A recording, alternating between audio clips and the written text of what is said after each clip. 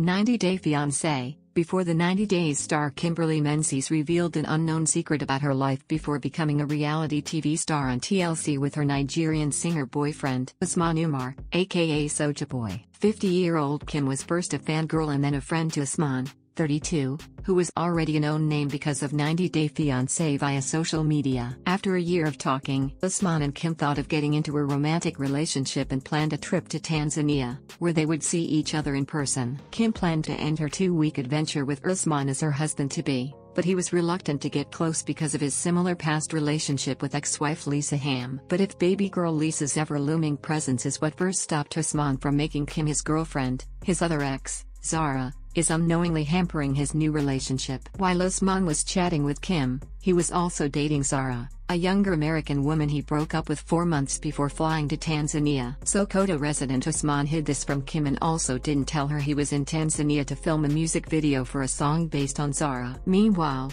Kim did everything to Usman, including buying him expensive gadgets like a PlayStation 5 and a MacBook Pro. In a recent episode, Kim also revealed that she bought Usman a heavy golden chain as a birthday gift and spent $45 just on shipping so it could reach him in time. Many fans wondered what job Kim did for a living if she was willing to spend so much on a man who wasn't even sure about dating her. Kim, who recently celebrated her birthday, did a quick Q&A session with her Instagram followers during which she revealed what work was like for her before 90 Day Fiancé. What do you do for work?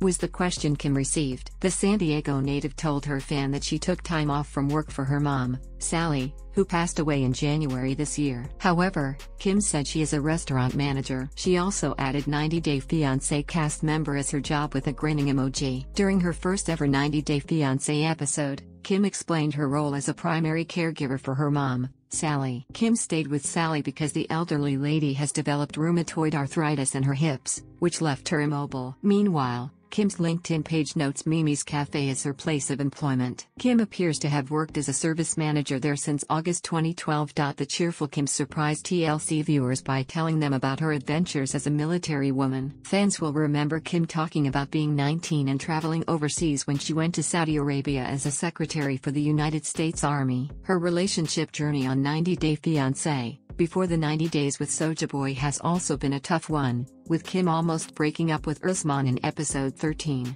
But Kim is a goal oriented woman, who only has a future with Usman in America on her mind. Rumors say Kim and Usman are still together, so fans just might see her work as a busy restaurant manager in California in case the couple makes it to another spin off. 90 Day Fiancé, before the 90 days airs Sundays at 8 p.m.